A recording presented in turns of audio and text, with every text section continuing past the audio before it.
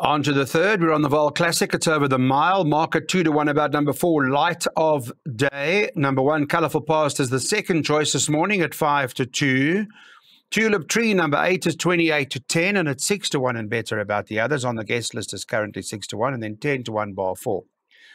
Darren, we're going for Tulip Tree uh, from this side. I want to find out if you're doing the same or you've got something else going. Yes, that is my first choice, Tulip Tree. Uh, she showed good improvement in her second start, and the mile should be ideal. From a one draw, the horse to beat over Light of Day ran a good second behind none other last time out, so she should fight out the finish.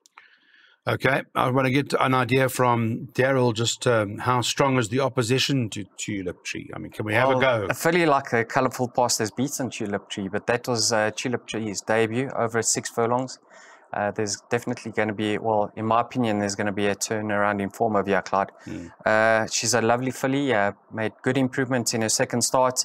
I know on her dam side there is stamina. I think uh, she contested the Oaks. So I think she's going to love the step up in trip. And in a small field, I'm hoping she can just slot in behind the likes of a colourful past and uh, get the run of the race. Mm. I'll make her a pick six banker. Absolutely. And I'm surprised to see that she's third favourite in the anti-post market, Clyde. Mm. Uh, I think she's going to take a power beating. Uh, she's she's a banker in my pick six. So was that also that silver clock come from there, right? Yeah, silver clock came from there, and also there's a filly, I think Cape Lights. Yeah, right. She Third. placed next time out um, so in, a fair, in a in a decent field. So mm. for me, it's. What either, happens if the pace is slow? Well, let's say they crawl. What does it mean to Tulip? Uh, Does it matter? She'll just be closer to the pace, hopefully. Um, so you're not worried? I, am not too worried in a small field, okay. I don't think she'll pull. Uh, the, she doesn't look like a filly that over races. So um, I think a lot in her favour this time around. Okay, we've got a pick six worked out for you guys. We're going to put it up, and we're also going to show you the Tulip Tree rerun, I think.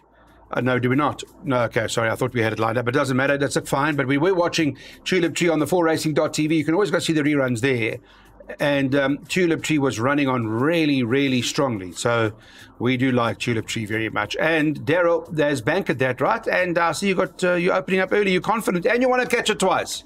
Yeah, I'm greedy today after yesterday, Clyde. Um, so I'm bankering Tulip Tree in the first leg, and in the second leg, I'm bankering number four, and it is far away winter.